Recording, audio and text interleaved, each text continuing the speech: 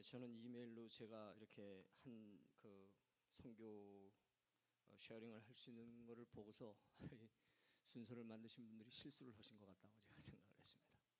어쨌든 기대하지 못했지만 아, 이렇게 여러분들 앞에서 어, 선교 어, 참 어, 소식을 나누기 전에 정말 아, 눈물 없이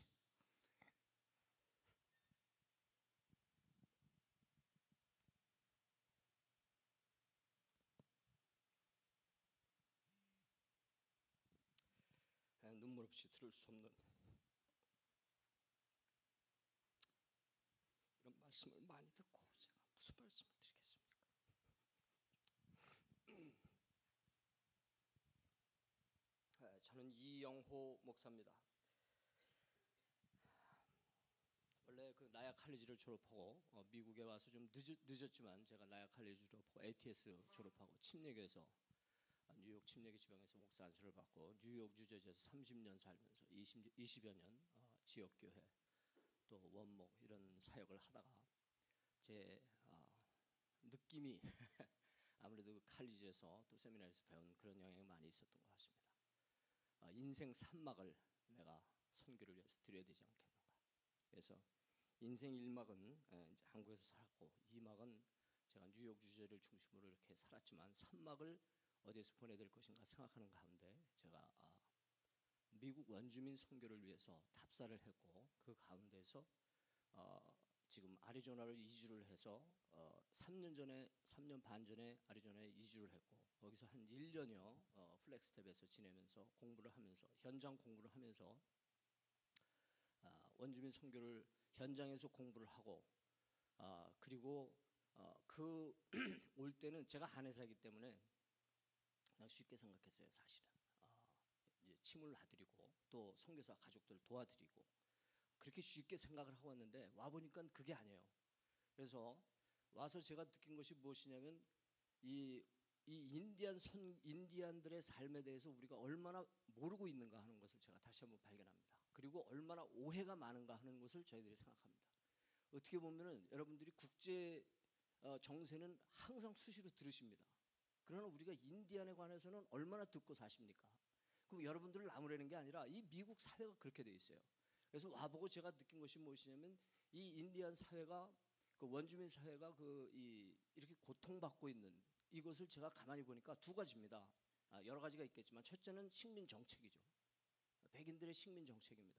이 백인들의 식민 정책이라고 하는 것은 참 우리가 그 미국 저도 미국 아, 시민입니다만 전 세계 사람들이 이 미국의 삶을 미국의 자유와 번영을 동경하는 것이 미국의 삶입니다. 얼마나 평화와 인권과 이 행복을 우리가 프로모터에 와서 전 세계적으로 애를 쓴다고 생각하지 않습니까?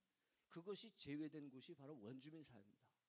그래서 이 식민 정치라고 하는 것이 그 이 사람들의 역사 가운데서 boarding school이라는 게 있습니다. 이 boarding school이라는 것은 원주민들에게 치가 떨리는 백인 정책입니다. 이것은 백인들의 그 federal government의 국부들이 만든 그러한 정책들이고 국부들이 시행한 정책인데 그 아이들을 capture, capture해다가 포획해다가 7년을 교육을 시킵니다. 그 교육을 시키는 동기는 뭐냐면은 assimilation입니다. 너희들이 이 사회에서 살아나갈 수 있는 방법을 가르쳐 줄 테니까 너희들이 그렇게 살지 말고 이 사회에 적응해서 살아라. assimilate해서 살아라고 하는 건데 그것이 어, 뭐를 거기서 가르치느냐면은 목수일이라든가 cooking이라든가 바느질이라든가 이런 머슴들과 하인들이 하는 일들을 가르치는 거예요. 그런데 사실은 그렇게 해가지고 이 사람들을 저급 노동자를 만들기 위한 그런 교육에 저기가 있지만 진짜 그 이 Heard Museum 그 피닉스의 Heard Museum과 인디언 museum인데 거기 2층에 올라가면 그 어, 지금은 어떻게 다시 디스플레이를 바꿨는지 모르겠지만 제가 방문했을 적에는 그 Heard Museum의 그이 2층에 가면은 그 boarding school에 대한 디스플레이를 해놨는데 거기서 제가 보았습니다. 그 문구를 왜 그 사람들이 그 boarding school을 해가지고 이 사람들을 7년씩을 교육을 시켰느냐? This is cheaper than killing one of the one of each other, each one of them. 쫓아다니면서 하나씩 죽이는 것보다 이게 싸게 맥힌다는 것입니다. 그래서 이 인구가 지금 3천만이 지금 300만이 됐습니다. 이것은 미국 사회의 도덕적인 아킬레스건입니다. 절대로 이 정치적이나 어떤 그 이 문화적으로는 백인 정부에서 시인을 할 수 없는 그 참담한 그러한 만행을 저지른 것이 바로 인디안의 역사입니다. 그, 그 인디안의 그 식민, 아, 백인 정부의 식민 통치로 인해서 이 사람들이 지금 어떤 사람들은 그 사람들은 게을르다 일을 안 한다 뭐 별하별 그 술만 술 마시고 마- 마약 중독되고 이런 여러 가지 그 사람들에게 저기를 하지만 그러나 그 모든 원인들은 생각해 보십시오. 하나님은 세상을 이처럼 사랑하사 독생자를 주시고 누구든지 그를 믿는 자마다 영생을 얻는 축복을 우리에게 허락하셨습니다. 그리고 예수님은 도적은 죽이고 멸망시키는 것이면 나는 너에게 무엇을 주기 위해서? 생명을 주기 위해서 그 어떠한 생명, abundant life, in full dimension 그거를 주기 위해서 오셨지만 그 생명을 다른 사람들이 갖는 것을 싫어하는 존재들이 있다는 것을 여러분 믿을 수 있습니까? 원수가 그렇게 합니다. 원수가. 사탄이 우리가 풍요로운 삶을 누리는 것을 원치 않습니다.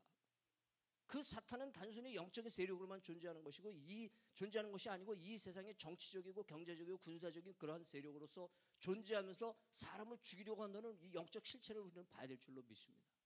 그리고 그것을 적나라하게 볼 수 있는 곳이 적나라하게 볼 수 있는 곳인지 아닌지 모르겠지만 하나님이 저한테 그렇게 적나라하게 보여주시더라고요. 그래서 첫째는 식민 통치, 그 다음에 두 번째가 뭐겠냐면 식민 시, 식민 신학이 있습니다. 식민 신학이. 우리 신학 이 하나님을 믿는 사람들이 신학을 빙자해가지고 인종을 차별하고 사람을 죽여, 죽였다는 역사를 여러분들 인정하십니까? 인류의 역사 속에서 가장 많은 사람을 죽인 것이 무엇입니까? 공산주의, 자유주의 이념이 아니라 신학 아닙니까?